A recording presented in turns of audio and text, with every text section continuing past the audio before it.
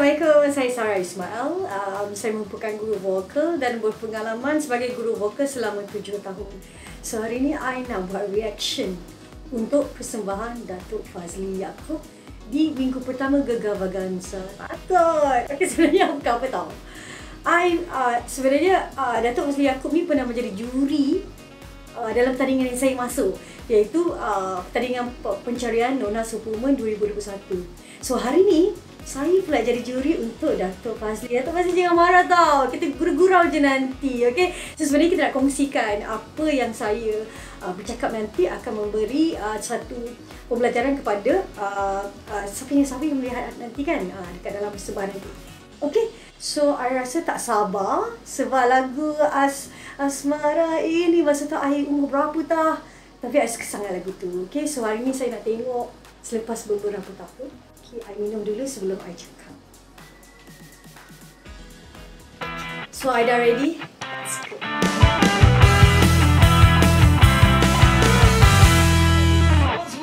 Oh my god. I'm like nervous.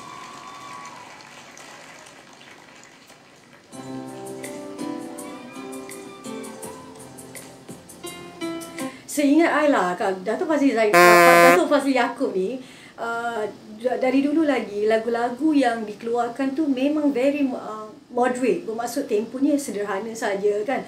Datuk Fazli memang kurang lagu-lagu yang besar tau. Kerana dia uh, sesuai dengan tahap kemampuan Datuk Fazli. Apa yang saya dengar dulu dan apa yang saya buat kajian tentang sekarang lah. Okay so let's go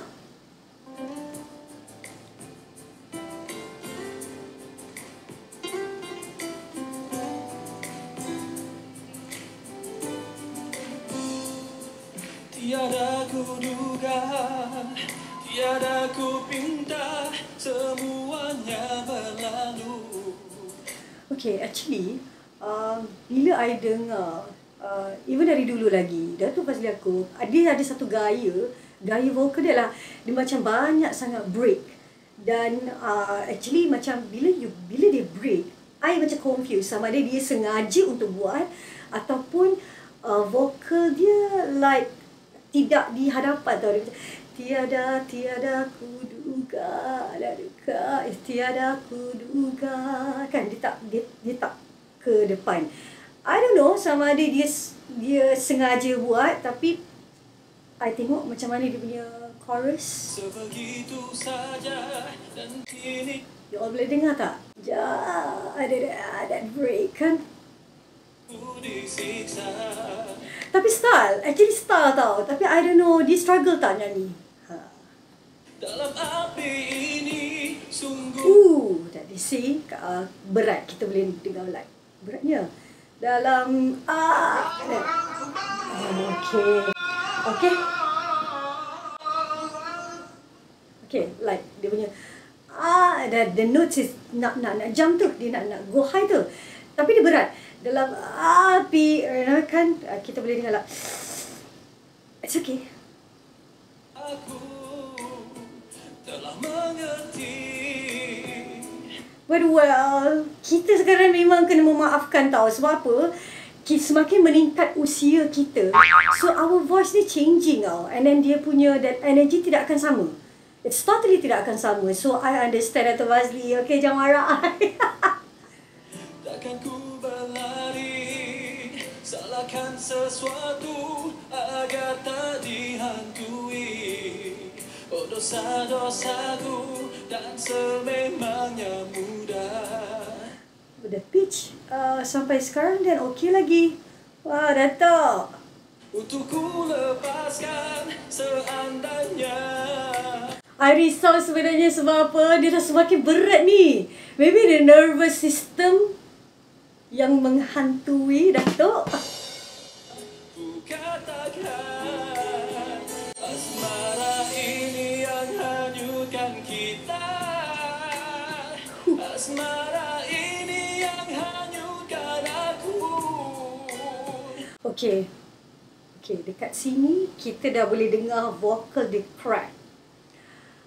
Um, saya saya menilai dengan apa yang saya lihat. Tapi saya percaya Datuk Fazli tengah condition tak okey ke. dia dah starting to like nak ke arah serak dah ni. Okay, I think dia tak sihat kot. Biar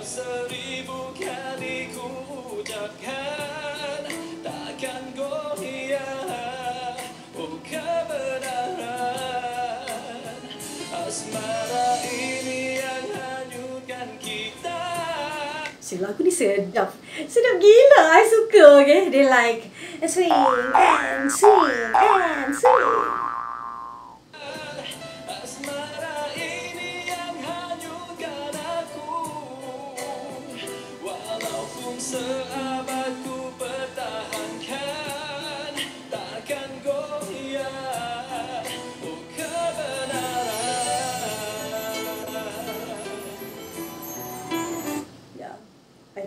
Think dia tak sihat. Tapi well, as a perform as a performer, okay? tak kisah you uh, berlakon contoh you membuat apa-apa persembahan, okay? Bila audience tengok, diorang takkan diorang tak nak ambil tahu you sakit ke? Diorang tak nak ambil tahu apa yang berlaku belakang-belakang you ke? Diorang nak tengok apa yang diorang sedang tengok. Ah itu problemnya. So that's why bila dah habis performance uh, audience akan boom. Alah dia, eh, audience banyak terus decide. Alah dia ni memang tak boleh nyanyi dah bla bla bla. Actually sebenarnya uh, kalau kita ni bersifat macam kesian ini kan kita dia dia bersifat ingin tahu okay? Uh, so that bila ada bersifat ingin tahu dia akan lebih memaafkan jika tahu penyanyi itu dalam kondisi yang tidak okey well the show must go on Dato' come on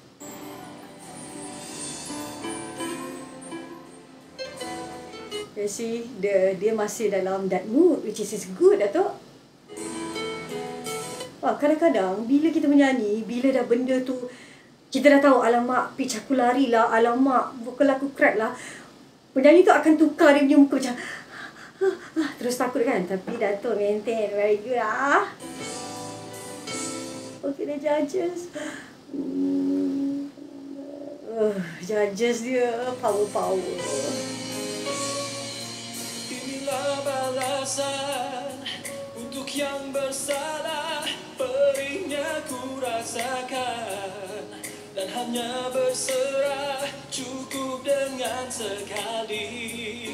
Aku mengotori cinta kita. Hancur sudah asmara.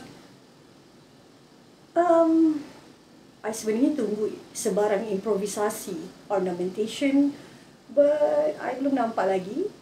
Kita tunggu sampai habis kebenaran It's still original melody. on, Dato', I'm waiting, I'm waiting.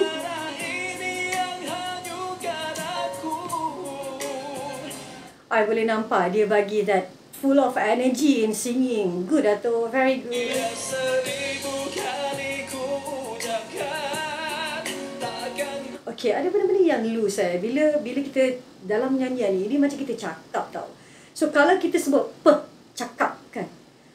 So, dalam nyanyian kita jangan loose tau. Ucapkan, ucapkan, ucapkan, eh, ucapkan kan. The the vowel, the, the the kondisi of the sound must be tegak sikit, tegak sikit tegak sikit.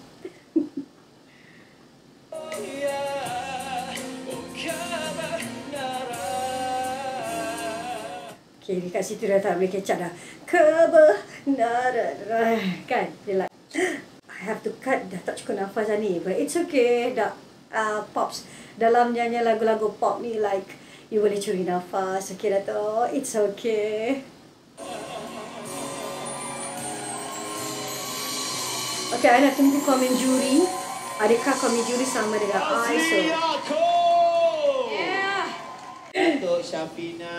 Jatuh. Hijau lagi. Hijau lagi. Kenapa kita semua pakai baju hijau ni? Tak tahu. Ha. Okey, Fazli. Ya tu Saya rasa malam ni uh, you telah menunjukkan pada anak you, you seorang penyanyi. So niat you tu dah tercapai dah. Ya? I'm sure you punya anak sangat bangga dengan you. intro Datuk Syafina memang win kan? Betul lah. I agree lah. Memang tercapai. Okey. Cuma malam ni you macam macam nervous ke apa? Sangat nervous tu. Saya biasa dekat dapur tu. Dekat dapur api panas. Dekat sini dia punya bahan lain. Bahang dia lagi panas kan? You see, once you ada nervous, nervous tu biasa tau. Nervous tu bukan bukan hari ni uh, setiap performance tu oh hari ni ada eh so tak ada tak ada. Setiap persembahan memang ada nervous dia. So dalam pembelajaran vokal pun nervous system tu dalam tajuk yang agak besar. So benda ni tak heran tau bila kalau kata nervous okay uh, kita sebagai guru vokal ataupun I sendiri sebagai penyanyi actually I faham kerana saya berada dalam situasi tu. Okay, you shouldn't be worried about it. Relax. Imagine you tengah masak kat dapur sambil menyanyi. You nyanyi tak kalau kat dapur? Nyanyi tu. Ha, dan nyanyi ya. Kat masa masa imagine you tengah masak. I understand bila Datuk Syafina cakap macam tu kerana dia so struggle bila nak nyanyi lagu dia sendiri tau. I rasa kalau dia tengah masak dia menyanyi, anyway kalau kita kalau kita sambil kita memasak ataupun lipat baju, itu the best moment kita boleh dengar bila kita nyanyi tu kita takkan ada satu benda yang kita terlampau berfikir untuk perfect dalam nyanyian. Padahal masa kita menyanyi sambil lewa tu lah Masa tu nyanyian kita sebenarnya perfect. Tak percaya, you lipat baju, you tengah masak, you record. Kerana you tak tak tak berfikir banyak sangat untuk perfectkan nyanyian you. Kadang-kadang kita terover over berfikir untuk perfect. No, sebenarnya nyanyian is about bagaimana you merelaxkan diri you dan bagaimana bagaimana you applykan nyanyian you dengan secara yang sangat bersahaja dan um, yeah, it's flying. We call it as a fly, fly, fly. Okay? Okay?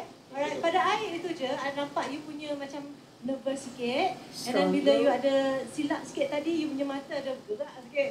So, don't show anybody kalau you rasa Oh, I tak nampak dia gerak mata.